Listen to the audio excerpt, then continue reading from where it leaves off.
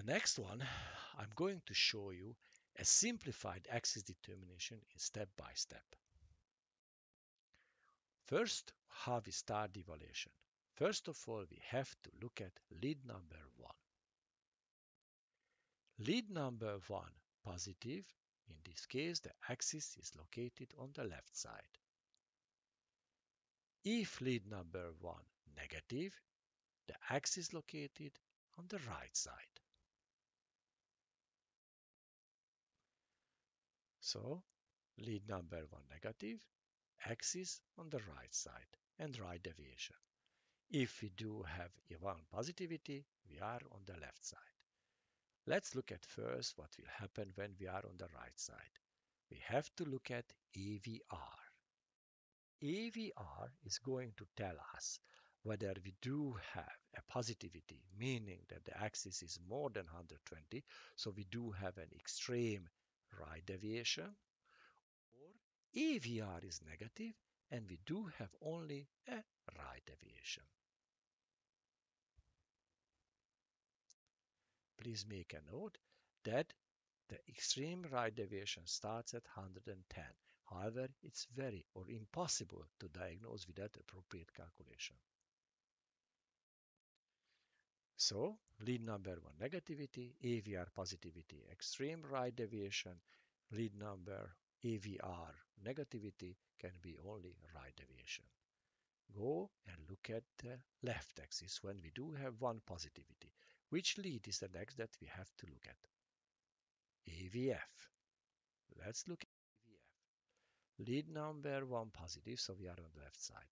AVF positive, for sure we do have a normal axis. If lead number one positive but AVF is negative, we have left deviation.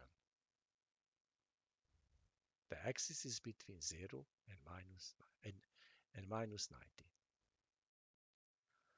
So AVF was positive, that was normal. When it's negative, we do have left deviation. Let's look at lead number 2. Lead number 2 is going to tell us whether we do have only left deviation or extreme left deviation. If AVF is positive, we do have left deviation that ranging from 0 to minus 30. If AVF, if lead number 2 is negative, we do have extreme left deviation.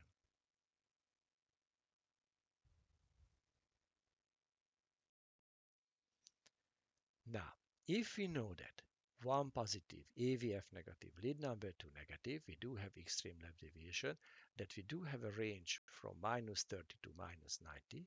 The next, if we want to narrow down this axis, let's look at AVR.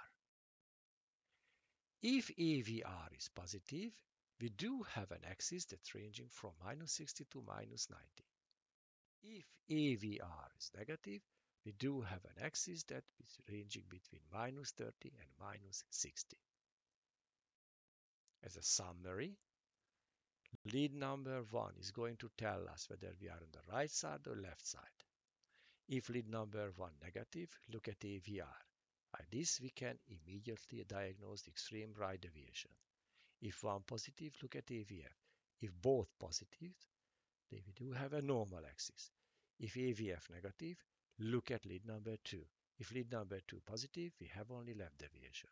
If lead number 1 negative, we do have extreme left deviation.